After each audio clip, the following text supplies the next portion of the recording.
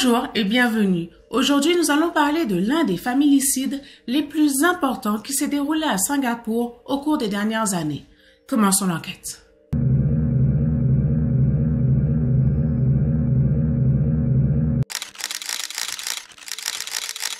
Theo Kim est un agent immobilier singapourien. Il est assez fier de sa réussite. Son entourage considère qu'il est un exemple de succès. Et en effet, l'homme gagne entre 10 000 et 15 000 dollars par mois, ce qui lui permet de mener une existence plus qu'aisée. Grâce à cela, il achète un appartement qui se situe à Woodlands, Singapour. Théo se marie une première fois en 2004 et sa femme s'installe avec lui. Alors, le contexte est un peu flou, mais à un moment de sa vie, il prend des cours. De quoi, je ne sais pas vraiment. Mais c'est à ce moment-là qu'il fait la rencontre de Chong Pei Shen, qui est une camarade de classe. Ils sont de deux univers différents, car lui est un agent immobilier à succès et elle une assistante personnelle. Tous deux sont mariés, mais cela ne les empêche pas de se rapprocher de plus en plus. Au final, en 2009, Théo divorce de sa femme et Peishan de son mari. L'homme n'attend pas longtemps avant de passer la bague au doigt au nouvel amour de sa vie. C'est le 7 décembre 2009 qu'il se marie. Il ne leur manque qu'une chose pour être heureux, des enfants. Mais malheureusement, Patient traverse de terribles épreuves. Elle fait plusieurs fausses couches, ce qui affecte beaucoup son moral. Je ne sais pas si vous êtes de cet avis, mais beaucoup de personnes pensent qu'un couple qui se forme au travers de tromperies subira la même chose dans son nouveau couple. Et il faut croire que c'est le cas dans l'affaire du jour. Nous sommes en 2011 et Théo a besoin de faire des recherches, alors il s'empare de l'ordinateur de sa femme pour surfer sur le net. Et c'est là qu'il remarque un onglet ouvert. Il s'agit d'une page Facebook, celle de sa femme. Et il s'aperçoit qu'elle échange avec un dénommé Marc. C'est un militaire que lui ne connaît pas, mais qui se sent visiblement assez à l'aise pour échanger de manière très intime avec sa propre femme. Donc Théo confronte Peichen, mais cette dernière affirme qu'il ne se passe rien, qu'il est juste un ami. Et pour l'apaiser, elle lui dit qu'elle va arrêter de parler à Marc. Le couple continue alors sa vie comme avant. Ils essayent d'avoir des enfants et c'est toujours aussi difficile. Mais le bonheur leur sourit en 2012 quand la jeune femme apprend qu'elle est enceinte. Neuf mois plus tard, elle met au monde leur premier enfant, une petite fille nommée Zinenk. Après tant de moments difficiles, Patient peut enfin serrer son bébé contre elle. Afin de se consacrer entièrement au bien-être de leur premier enfant, elle devient mère au foyer. Après tout, Théo gagne assez d'argent pour nourrir toute la famille. Lui est vraiment très heureux d'être père. Selon tous leurs proches, il est un bon papa et un encore meilleur mari. Quant à son travail, tout se passe bien. Il est un agent engagé et il s'entend à merveille avec tous ses collègues. Il a une grande pression quand même sur lui puisqu'il est désormais le seul à ramener de l'argent. Donc, il se donne à fond. Mais sa vie et tout ce qu'il a construit va commencer à s'effondrer en 2014, plus précisément en octobre. Théo décide de rentrer chez lui plus tôt que prévu. Mais lorsqu'il arrive devant la porte, il voit une paire de chaussures à l'extérieur. Ce sont des bottes militaires qui appartiennent à un homme. Et il n'a pas oublié l'épisode des conversations Facebook. Alors, il rentre à toute vitesse et ouvre la porte de la chambre conjugale à coups de pied. Et je pense que ce qu'il voit est la hantise de toute personne en couple. Marc est assis sur le lit, la chemise déboutonnée, et il est en train de parler à Peichen. Théo voit rouge. Son sang ne fait qu'un tour. Et il va dans la cuisine et prend un hachoir. Puis, il se dirige vers le militaire et le blesse. Peichen essaye de calmer la situation. Elle lui dit que ce n'est rien, juste une erreur de passage, que Marc ne représente rien à ses yeux. La femme infidèle supplie son mari, car ce dernier veut divorcer. Mais elle refuse. Ils sont mariés et ont une petite fille ensemble. Il ne faut pas qu'ils se séparent afin que l'enfant grandisse dans la stabilité. À force de supplications, Théo cède et accepte de ne pas demander le divorce. Marc, quant à lui, en avait profité pour s'enfuir sans demander son reste. D'ailleurs, il ne portera jamais plainte pour les coups reçus. Mais Théo ne veut pas en rester là. Il emprunte régulièrement le téléphone de sa femme afin d'appeler Marc. Il veut absolument le rencontrer pour, soi-disant, régler les choses. Mais l'amant, sûrement effrayé par le hachoir de la dernière fois, ne se rendra jamais au rendez-vous. Il est toujours difficile de se remettre d'une tromperie, pire encore quand elle a eu lieu sous son propre toit et dans son propre lit. Théo commence à douter de tout, et lui qui était si fier d'être père se demande si, par hasard, Zineng ne serait pas le fruit de la liaison de sa femme. Qu'est-ce qui lui dit que Peishen ne l'a trompé qu'une seule fois? Est-il vraiment le père de l'enfant? Déjà que sa vie sentimentale est compliquée, il doit aussi faire face à des problèmes au travail. Si avant 2014 le marché de l'immobilier fonctionnait bien, il s'effondre en 2015 et les revenus du père de famille baissent drastiquement. Il ne parvient pas à maintenir le train de vie qu'il avait auparavant. Et vous savez, quand une chose ne va pas, parfois, cela entraîne plein d'autres problèmes. Et c'est exactement le cas pour Théo. C'est lui qui contrôle les finances de la famille. Et bien qu'il n'ait plus les mêmes revenus, il ne semble pas prêt à faire face à ce changement de situation. Par exemple, il continue à toujours autant jouer dans des jeux d'argent, mais il perd beaucoup. Du coup, il se retrouve à avoir des dettes de jeu. L'homme vit largement au-dessus de ses moyens et commence à sombrer financièrement. Il emprunte de l'argent à ses amis, ses collègues et même des institutions financières. Mais cela fonctionne un temps, puisqu'à un moment, il lui faut bien rembourser les sommes astronomiques qu'il a empruntées. Les problèmes financiers deviennent une source continuelle de disputes entre Théo et Peichen. Pour finir avec l'année 2015, Peichen reçoit par deux fois des fleurs, pour la Saint-Valentin et son anniversaire. Cela serait presque sans aucun doute de la part de Marc. Mais Théo décide de ne pas poser de questions à ce sujet, car, dira-t-il plus tard, il fait confiance à sa femme. En 2016, leur situation financière devient réellement critique. Son travail d'agent immobilier ne rapporte plus. Conscient de ses problèmes, en novembre, un de ses amis l'aide à obtenir un travail en tant que coordinateur des ventes. Cela lui permettra d'avoir une source de revenus stable. Il décide aussi de mettre son appartement en vente. Il doit trop d'argent et ne peut plus continuer sa fuite en avant. Lui qui avant gagnait entre 10 et 15 k doit maintenant se contenter d'un salaire de 1500 dollars. Le moins que l'on puisse dire est qu'il vit mal la situation. Avant, il était bien vu, apprécié et propriétaire et se considérait comme un exemple de réussite. Passer d'un salaire aussi élevé à 1500 dollars par mois a dû être très difficile à vivre, notamment pour son estime personnelle. Mais malgré tous ses déboires, il réussit à maintenir les apparences. Théo travaille toujours aussi bien et il est amical avec tous ses collègues. Puis, le couple va apprendre une nouvelle qui avant aurait fait leur bonheur, mais plus maintenant. Il s'avère que Pei est à nouveau enceinte. C'est censé être un garçon et l'accouchement est prévu pour mai 2017. Au vu de leurs problèmes financiers, ils songent d'abord à l'avortement, mais changent d'avis et décident de garder le bébé. En janvier 2017, les dettes de l'homme s'élèvent à 120 000 dollars. Il n'a pas les fonds, il n'a pas le travail d'avant et il ne sait pas comment s'en sortir. Le 28 janvier 2017 est le premier jour du Nouvel An chinois et une famille a du mal à profiter des festivités, celle de Peishan.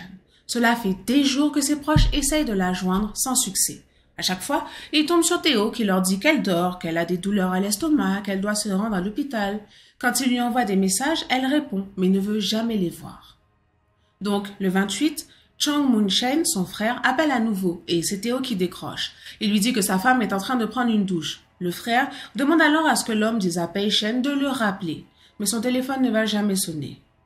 N'y tenant plus, Moon-shen se déplace à l'appartement du couple dans l'après-midi même pour trouver la porte et le portail métallique verrouillés et les fenêtres fermées. Il utilise alors la bonne vieille méthode, c'est-à-dire crier le nom de sa sœur. Mais il n'obtient aucune réponse. Il décide de ne pas en rester là. À 14h30 le même jour, Moonchen va voir les voisins afin de leur demander si récemment ils n'ont pas vu quelqu'un quitter l'appartement. Mais tout le monde répond par la négative.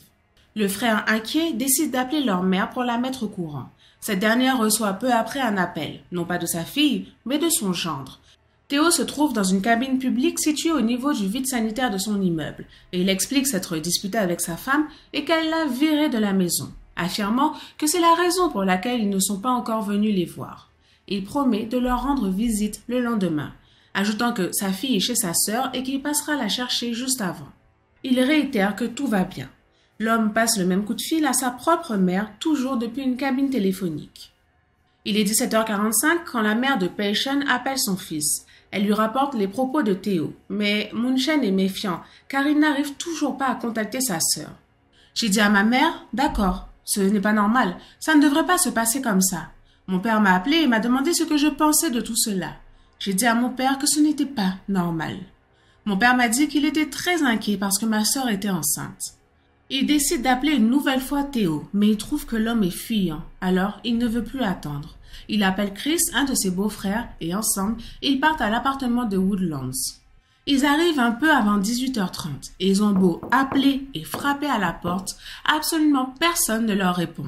Alors, l'un d'eux force une des fenêtres et il est accueilli par une odeur âcre.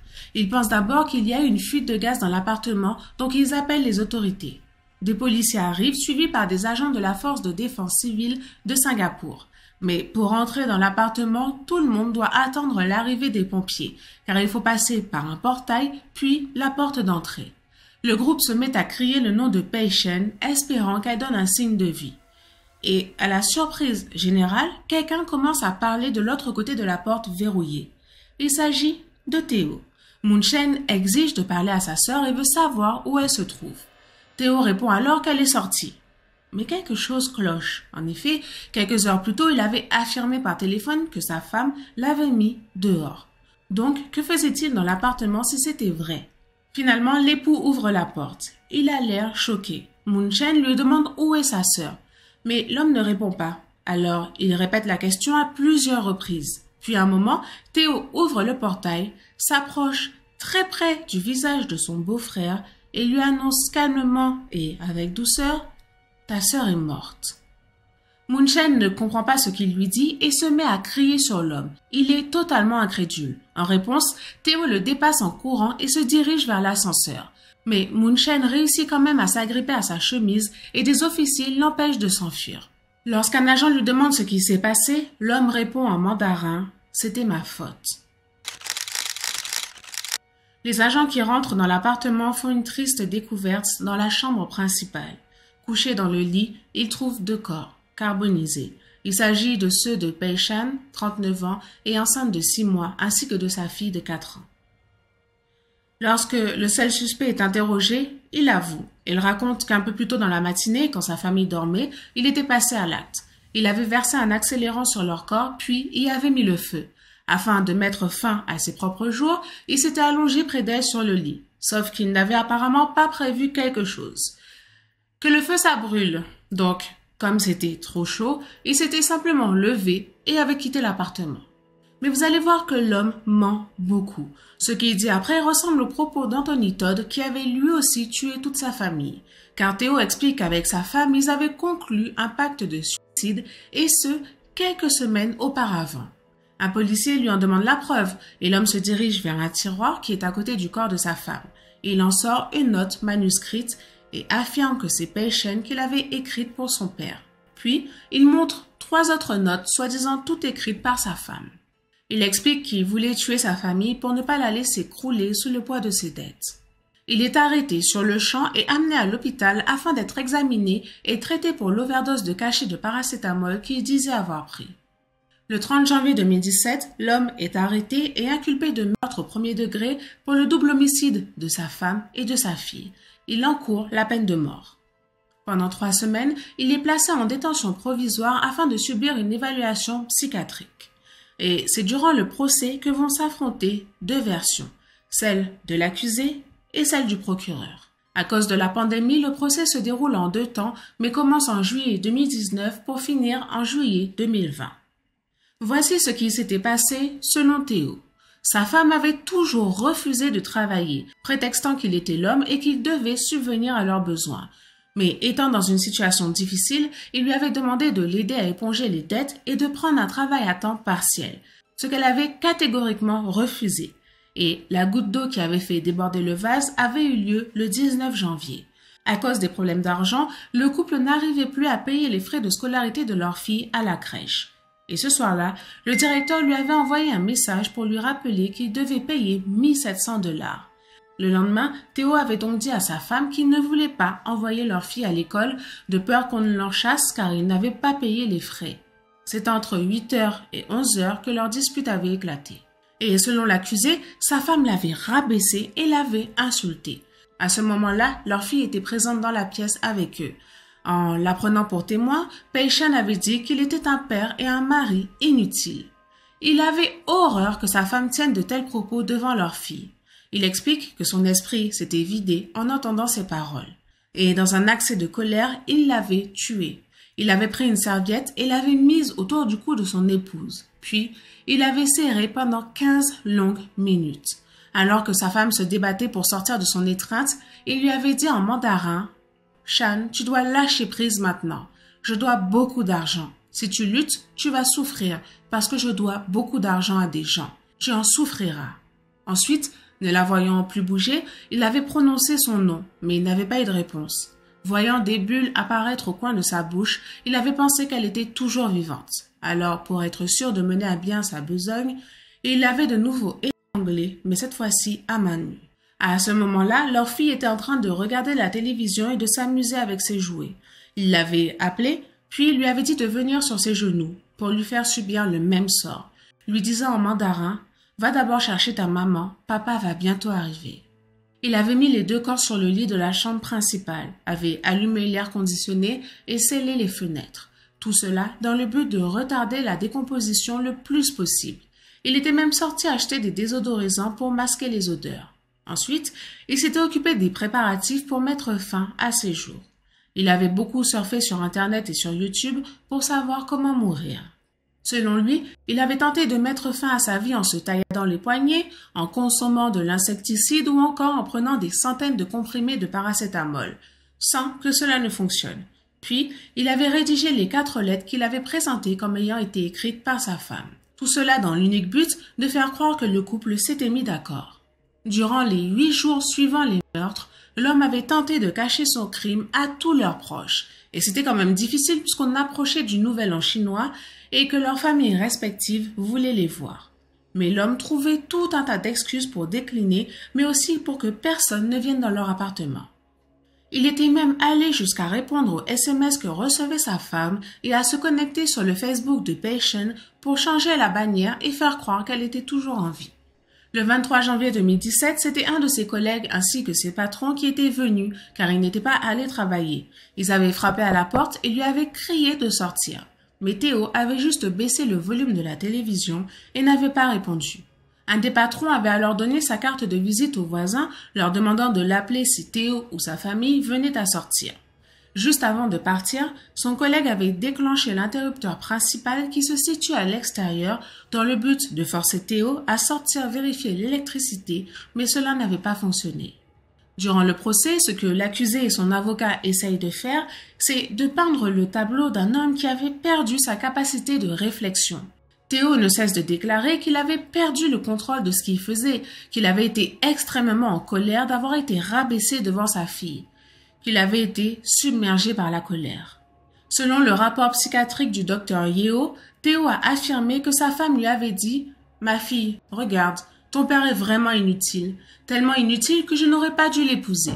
Et il lui avait répondu Je déteste vraiment que tu parles de moi devant notre fille. Je t'ai dit plusieurs fois de ne pas faire ça. L'intérêt pour lui est que son avocat déclare qu'il a une responsabilité atténuée dans ce qui s'était passé.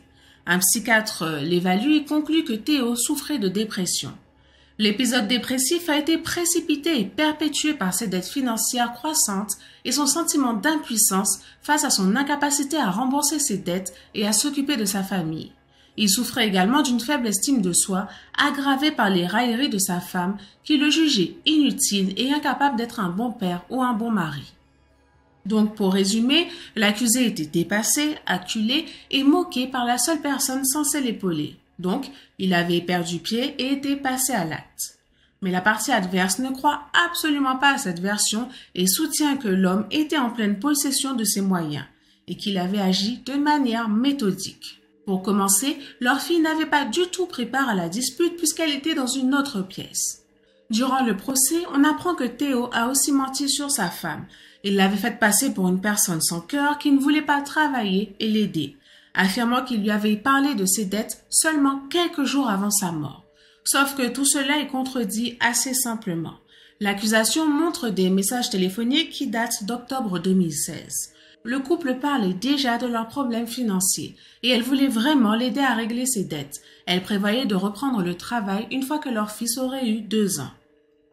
Le 18 janvier 2017, le couple s'était disputé au sujet de ses finances. Les festivités du Nouvel An chinois coûtaient de l'argent et ses débiteurs voulaient le récupérer. Théo avait affirmé devoir payer 70 000 dollars à ses créanciers et de ce fait qu'il ne pouvait pas payer les frais de scolarité de leur fille. Mais malgré tout cela, Marie et épouse s'envoyaient des messages chaleureux, affectueux et très optimistes. Les messages échangés entre Théo et sa femme ne montrent pas qu'il était déprimé, mais décrivent un mari aimant qui ne cesse de couvrir sa femme d'affection. Le psychiatre de l'accusation confirme que l'accusé ne souffre pas de dépression. Derek Yeo décrit le comportement de l'homme comme étant logique, orienté vers un but et faisant preuve de planification. Son comportement après l'infraction a montré qu'il était en pleine possession de ses moyens cognitifs et volitifs. En effet, il avait acheté de quoi masquer les odeurs. Durant les huit jours suivant son crime, il était allé se coucher à des heures normales et acheter même de la nourriture à l'extérieur. Sur les vidéos, il ne semble pas particulièrement abattu. Malgré l'horreur de la situation, il avait regardé à plusieurs reprises des films pour adultes.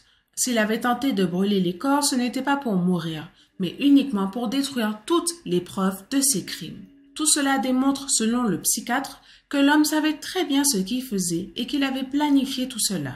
L'accusé a estimé qu'en raison de ses dettes, sa femme serait poursuivie par les personnes à qui il devait de l'argent et il a en quelque sorte pris la décision unilatérale, en tant que père et chef de famille, de mettre fin à leur vie commune, déclare le docteur Yehu.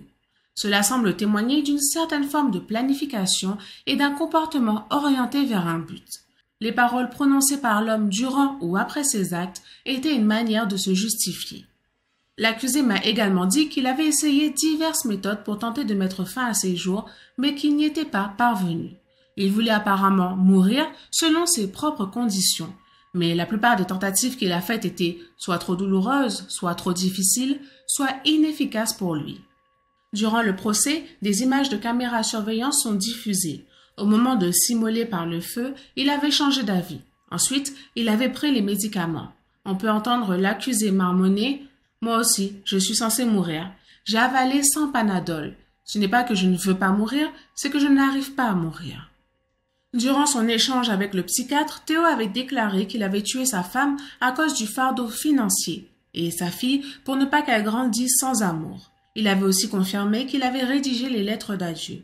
Pour finir, Derek Yeo déclare que lors de sa détention provisoire, l'accusé lui avait dit qu'il ne regrettait pas d'avoir tué sa femme, mais qu'il regrettait d'avoir tué sa fille, qu'il appelait sa plus chère. Et une autre théorie se dessine, et si la raison de son acte n'était pas liée à l'argent et si en fait l'homme n'avait tout simplement jamais pardonné la tromperie de sa femme? Peut-être avait-il toujours des doutes quant à la paternité de sa fille, et si le deuxième enfant qu'ils attendaient était aussi le fruit d'une trahison. Le procureur adjoint déclare que Théo était un agent immobilier prospère et le seul soutien financier de la famille, mais qu'après la crise du marché immobilier, il ne gagnait plus assez d'argent pour subvenir aux besoins de sa famille. Il avait également un faible pour les jeux d'argent et dépensait des centaines de dollars par semaine au 4D, qui est une loterie.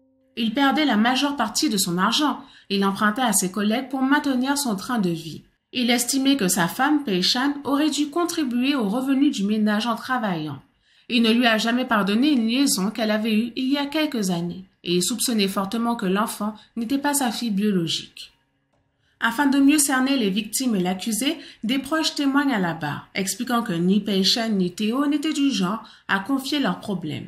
Moonshine déclare que sa sœur faisait très attention au bien-être de son mari. Par exemple, elle s'assurait à ce qu'il n'y ait pas de crevettes lors des réunions de famille car son mari y était allergique. Avant sa mort, elle se réjouissait de l'enfant à venir.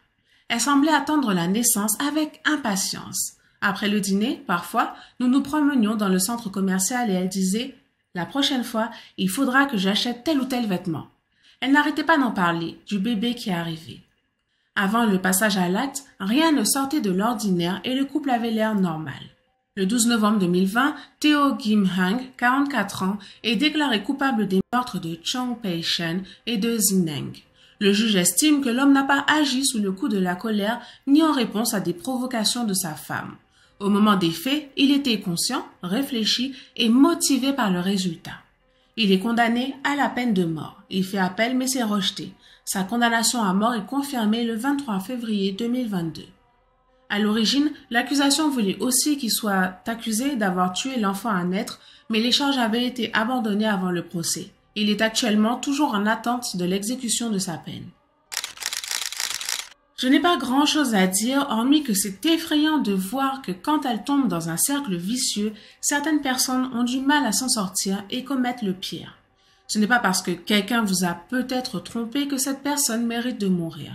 Je pense qu'il était en possession de tous ses moyens lors de son passage à l'acte, et son attitude durant les huit jours suivants montre bien que cela n'a pas eu un grand impact sur sa routine. Mais une question me taraude. Comment peut-on manger et dormir dans un endroit où reposent les deux corps de ses victimes? Je vous remercie de m'avoir écouté et faites attention à vous parce que cela n'arrive pas qu'aux autres. Au revoir.